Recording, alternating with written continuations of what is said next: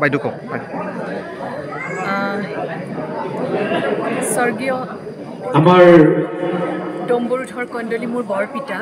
বক্তৃতা পিতাৰ শুনি ডাঙৰজন মুগ্ধ হোৱাৰ ফলতে আৰু তেখেত আমাৰ এগৰাকী বক্তা শ্ৰীযুত মোহিনী মোহন ডেকাদেৱক আমাৰ আদৰণি পৰ্বতৰ বিশেষ মই যিহেতু শ্ৰৱণক অনুৰোধ জনাইছোঁ তেখেত মাজত আছে।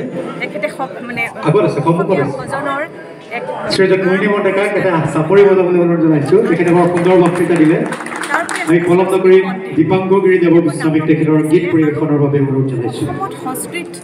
মানে নাটক কৰা তেখেত আছিলে প্ৰথম ব্যক্তি। গোটেই ঘৰৰ মানুহখিনিক লৈ কৰিছিলে। আৰু মোৰ পিতাৰ মুখত শুনা সেই সময়ত কাশীৰ পৰা পণ্ডিত আহিছিল যিটো আমি বেনাৰস হিন্দু ইউনিভাৰ্চিটি কওঁ সেই সময়ত সেই বেনাৰসৰ পৰা পণ্ডিত আহিছিলে। আৰু বৰপিতাৰ এনেকুৱা গুণ আছিলে যে সেই সময়ততো গাঁৱৰ জেগাটো ইমান নাছিলে। মানে আমি যিবিলাক প্ৰপছ ব্যৱহাৰ কৰোঁ কিন্তু তেওঁ ছাগলী। হৰিণ বনাইছিলে কুকুৰক সিংহ বনাইছিলে আৰু গোটেইখন হৈছিলে সংস্কৃতত। আৰু ঠিক তেনেকৈ অভিজ্ঞানে শকুন্তলম কৰিছিলে সংস্কৃতত। মোৰ পিতাই তাত নাচিছিলে নৰ্তকী আছিলে গোটেই ঘৰৰখিনি আছিলে। তাৰপাছত চবতকৈ মোৰ এটা কথা ভাল লাগে যে বিষ্ণু ৰাভা বিষ্ণু ৰাভা যিটো সময়ত তেখেতে পলাই আছিলে মানে সাম্যবাদৰ হেৰিত যুঁজি ওচৰ পেলাই। তেওঁ আমাৰ এই ঘৰত গাঁৱৰ ঘৰত চাৰিদিন আছিল আৰু সেই চাৰিদিন সময়ত মোৰ। বৰপিতাই সংস্কৃতত যে এটা আছে মানে খুব সুন্দৰ আৰু শ্লোক তাৰ মানে কৃতজ্ঞতা বিশ্বাস কেনেকৈ কৰা হয় প্ৰকাশ যে কৰোঁ? ৰাৱণে সেই শ্লোকটি ৰচনা তাৰ কৰিছিলে ভাষা মই বিচাৰি ডমত নাপাওঁ। ডমত ডমত এনেকুৱা অতি ধৰণৰ। সুন্দৰ প্ৰয়াস সেই হৈছে শ্লোকটি বৰপিতাই যে গাইছিল আৰু বিষ্ণুৰাভাই নাচিছিল আৰু মোৰ বৰপিতাক লৈ যাব বিচাৰিছিল যে পুনৰ মানে উদ্ঘাটনৰ পুনৰ পূজাৰী মোৰ লগত ওলোৱা গোটেই অসম ঘূৰিম সুন্দৰ যে মোৰ প্ৰয়াস কৰা হৈছে মানে মই কৃতজ্ঞ হৈছোঁ সকলোৰে প্ৰতি তেখেতৰ। মই দুটা গীত পৰিৱেশন কৰিম। গীতকেইটা পৰহিদিনাখন নোৱাৰিলে, কন্দলীয়ে কিন্তু মোলে ঘৰত দিলে থাকিয়ে তেওঁ ভা- বিভিন্ন ভাস্কৰ্য সৃষ্টি কৰিলে সংগীত লিখিলে নাটক লিখিলে আৰু সংস্কৃতৰ এটা ধাৰা তেওঁ সৃষ্টি প্ৰথমতে গীত গ'ল। তাৰপিছত দুইটা গীতেই বনগীত প্ৰকৃতিৰ বিষয়ক গীত জীয়ৰী আৰু প্ৰথমটো গীতত এটা।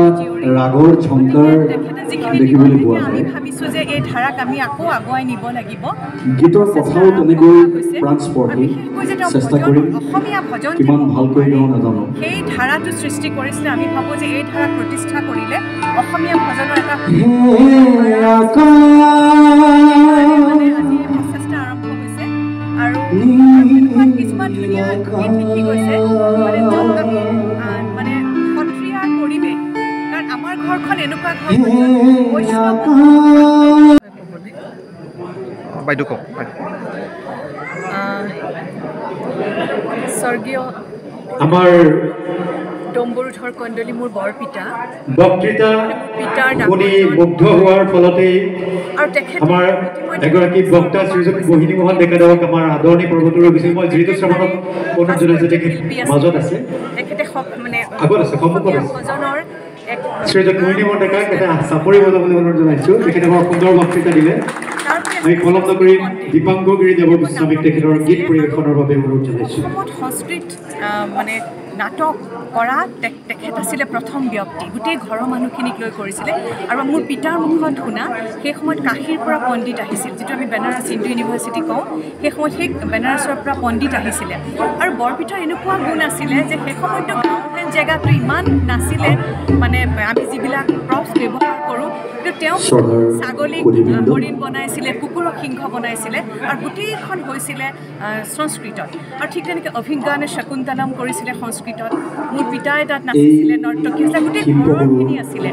তাৰপাছত চবতকৈ মোৰ এটা কথা ভাল লাগে যে বিষ্ণু কলাগুৰু বিষ্ণু ৰাভা যিটো সময়ত তেখেতে পলাই আছিলে সাম্যবাদৰ হেৰিত ওচৰ পেলাই।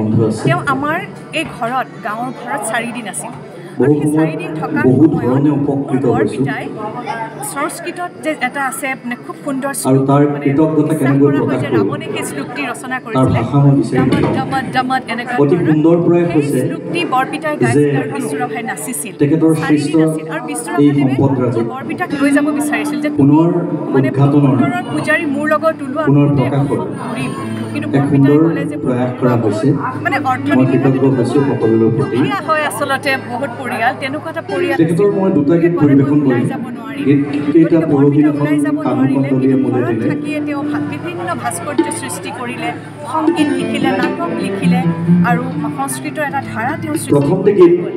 তাৰপিছত দুইটা গীতেই বনগীত প্ৰকৃতিৰ বিষয়ক গীত জীয়ৰী আৰু তেখেতৰ প্ৰথমটো গীতত এয়া এটা। ৰাগৰ ঝংকাৰ যিখিনি দেখিবলৈ পোৱা যায়। ভাবিছোঁ যে এই ধাৰাক আমি আকৌ আগুৱাই নিব লাগিব।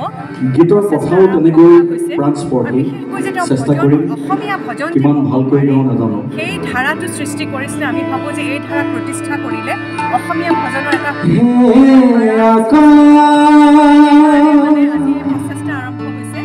আৰু আৰু কিছুমান ধুনীয়া গীত লিখি গৈছে।